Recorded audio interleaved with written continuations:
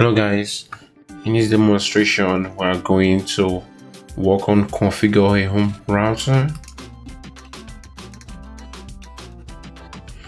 So yeah um we're gonna choose a router internet with firewall which is this.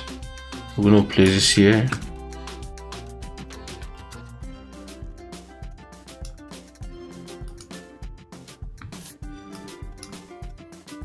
so back and back.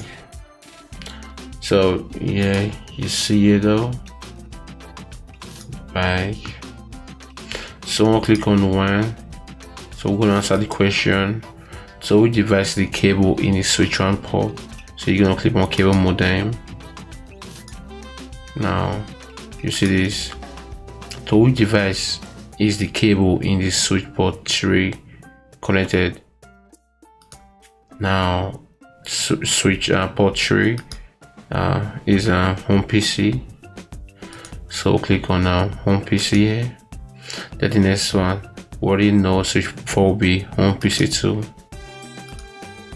now connect the rest of here. Then we'll connect this here.